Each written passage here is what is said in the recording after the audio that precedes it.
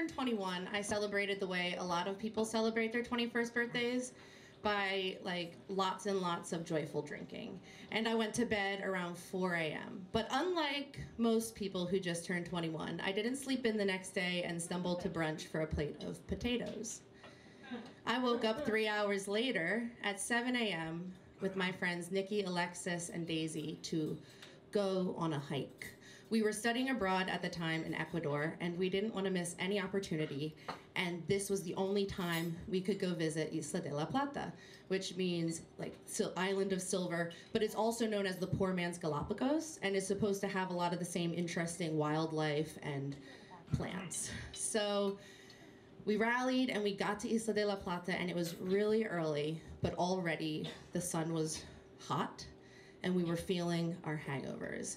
And as the tour guide was explaining that we were going to walk the perimeter of this like desert island, we noticed that everyone in the group had bottles of water, but not just bottles, they had full gallon jugs, like the gallon challenge.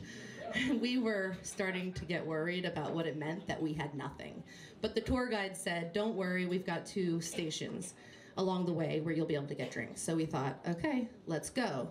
And we were trying to appreciate the scenery, right? Like blue skies, clear sun, no clouds, ocean. But most of the time, I was like looking under rocks and hoping for Advil. And it didn't take long for me to start to lag behind the group. And I said to my friends, listen, go on without me. I need to slow my pace down. I'll keep the group in my eyes and I'll follow behind. And they left me alone. It was just me, the sun, my hangovers, my thoughts, and many, many blue footed boobies. The bird that the island was famous for. And as I'm walking and dehydration is making itself known, my brain started to get a little loopy. And suddenly, this like miraculous thing happened. It was like I was in the movie. Have you heard of it? Dr. Dolittle 2. so it was like I was Raven-Symoné who realizes she can silently commune with animals but doesn't want that ability. And every bird that I looked at was like, every single one. Durr, I'm a bird. And who are you? Durr, I'm a bird. And who are you? And initially I was like, Durr, I'm Kelsey. but then I realized like what they were asking me was a lot deeper than that. who was I? What was my purpose? And then I realized when it all was stripped away, I was a person who wanted water. So I see the drink hut up ahead, and I'm like, okay, I can get there. And as soon as I walk under the shade of it, the tour guide is like, okay, she's here, let's go. And I'm like, oh God. So I beeline it to the cooler, and it's empty. But I'm not above a lot, so desperate times. I went to the trash can where there were Dixie cups, and I found one with a drop of red Kool Aid left in it. And I like unfurled my little sandpaper tongue, and I just dropped that backwash into my mouth, and it like evaporated like water on a hot pan. And so I thought, fuck it, I gotta get a little bit quicker. I need to pick up the pace. I need to get to that second water station before this happens again. And so I ignored the birds who were still asking me about myself. And I was like, you know what? When the going gets tough, Kelsey, the tough get going. And so I was like booking it. But you know, I was feeling like I was booking it, but maybe. maybe the fact that I was hungover and out of shape was like affecting me. So I'm like, when the going gets tough, the tough get going. It was a mantra. But to my dismay, the gap between me and the group was getting bigger. And suddenly I lost meaning of that phrase. And I started to ponder like, what does it even mean? Does it does it mean when times are hard you work harder or is it sarcastic?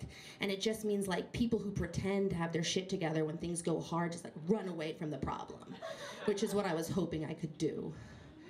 When I got to the next drink station, you guessed it, no drinks.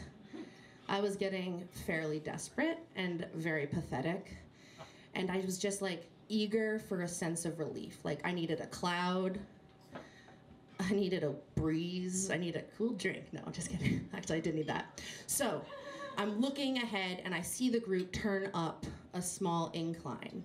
And like the thought of an uphill might have like collapsed me at that point, except for one thing. There was vegetation there. Okay? And so what does vegetation mean? Not water. I'm not gonna bite a leaf. It means shade, okay? I knew that vegetation meant shade. And so I was like, okay, I'm back to glass half full, right? I'm an optimist. I'm gonna get there and I'm gonna find some relief.